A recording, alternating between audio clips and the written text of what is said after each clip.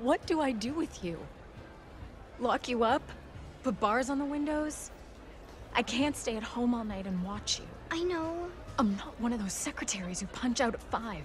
I'm a rising star, right? Did Johnny know about this? Because I'm gonna kill him. I just wanted to talk to Vincenzo. I never should have let him back. I just needed...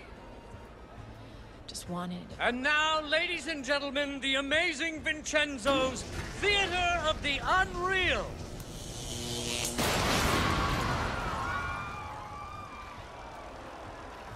I knew it! I knew this was another one of Johnny's pipe dreams.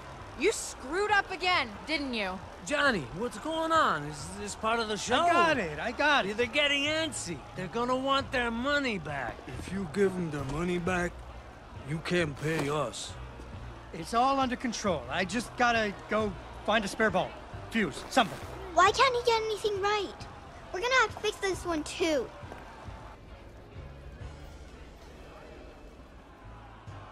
We need to light up the stage somehow. Hmm.